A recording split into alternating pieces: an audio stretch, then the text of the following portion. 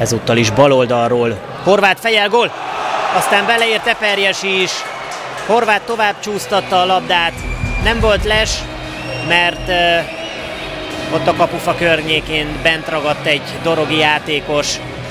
Hát Molnár szöglete után megérte beküldeni Horváth Zoltánt, mert ő csúsztatta a kapu irányába, Eperjesi pedig még bele ott az öt és felesen belül, vagy azon a környéken tenni a fejét. Így tehát megvan a második találat,